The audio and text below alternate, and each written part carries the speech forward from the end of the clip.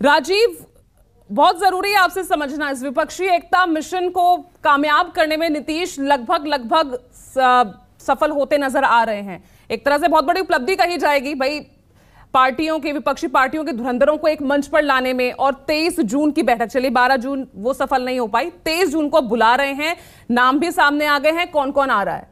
लेकिन ये समझना चाहूँगी Rajiv, TMC versus CPM AAP party versus Congress, कैसे कैसे ये गठबंधन होगा, कैसे समझौता होगा, क्या रणनीति होगी, कितना ये मोर्चा कितना मज़बूत होता हुआ दिख रहा है 2024 की नज़र से?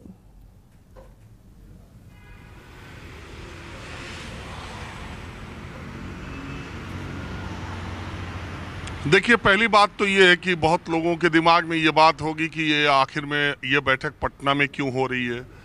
तो उसके लिए यह है कि नीतीश कुमार एक ऐसे नेता देश में है जिनका, जिन्होंने बीजेपी के साथ तो गठबंधन में लंबा समय बिताया है और कांग्रेस और आरजेडी के साथ भी गठबंधन में रहे हैं और अभी भी हैं। तो इसलिए बहुत सारे राजनीतिक दल ऐसे हैं जो कांग्रेस से अपने आप को अछूत मानते हैं और कांग्रेस उनको अपना कांग्रेस उनको अछूत मानती है लेकिन वो नीतीश कुमार से कंफर्टेबल है। इसलिए कि नीतीश कुमार दोनों पालों में रहे हैं तो वो दोनों तरफ़ के नेताओं से उनके अपने संबंध हैं और अपना एक उनका राजनीतिक करियर इतना लंबा वो बताने की ज़रूरत नहीं है। तो इसलिए किसी दूसरी जगह पर आ, किसी दूसरी जगह पर ये बैठक हो उस ये ये संभव नहीं था। कांग्रेस अगर अपनी जगह पे करती या केजरीवाल करते या ममता बनर्जी करती तो उसमें कांग्रेस असहज होती, कम्युनिस्ट असहज होते। लेकिन नीतीश कुमार पटना में कर रहे हैं और वो किसी के लिए वहाँ असहज होने की स्थिति नहीं है। और वहाँ पे जो विपक्षी गठबंधन है आरजेडी और कांग्रेस का तो इसलिए वहाँ पर ये कार्यक्रम रखा गया और ज़्यादातर नेताओं ने अपनी सहमति दी है। अभी कल की प्रेस कॉन्फ्रेंस में जितने नेताओं के आने की बात कही गई है, अगर सच में वो सारे के सारे आते हैं सारे top communist leaders, Mamata Banerjee, Arvind Kejriwal, Rahul Gandhi तो नीतीश कुमार की एक बड़ी उपलब्धि होगी कि इन सारे लोगों को एक जगह बैठा पाने में पिछले आठ महीनों से जो वो काम कर रहे थे तो ये एक बड़ी उपलब्धि होगी कि अगर ये सारे लोग एक जगह पर आए। लेकिन सवाल यही है कि चाय पानी नाश्ता एक जगह करना और चुनाव एक साथ लड़ना, ये इतना आसान है क्या?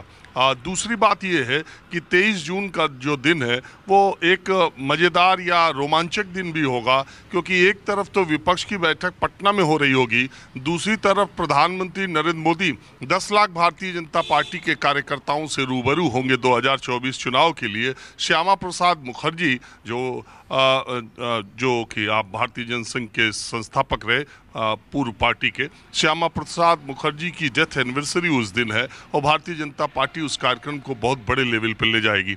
और दूसरी बात 25 जून को इमरजेंसी जब आ, 25 जून 75 को लागू हुई थी तो इस बार 25 जून 75 25 जून को रविवार पड़ रहा है और उस दिन प्रधानमंत्री के मन की बात 11 बजे कार्यक्रम भी आएगा।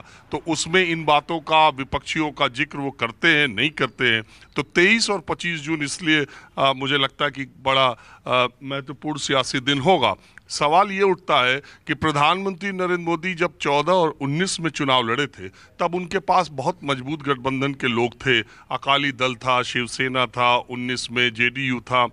आ, तो अब इस बार 2024 में अपने सहयोगियों को भारतीय जनता पार्टी को चुनना और चुनना पड़ रहा है और देखना पड़ रहा है कि कहाँ किसके साथ वो समझौता कर सकते हैं। इस समय उनके पास गठबंधन के लोग उत, उतनी मज़बूत स्थिति में नहीं है।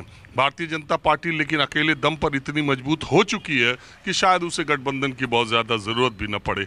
तो ये सारे लोग मिलकर मोदी से लड़ पाएँगे। अकेले अकेले तो नहीं लड़ पाए। ये सारे मिलकर के मोदी से लड़ पाएँगे कि नहीं ये देखने वाली बात होगी। ठीक है ठीक है राजीव। बने रहेगी हमारे साथ और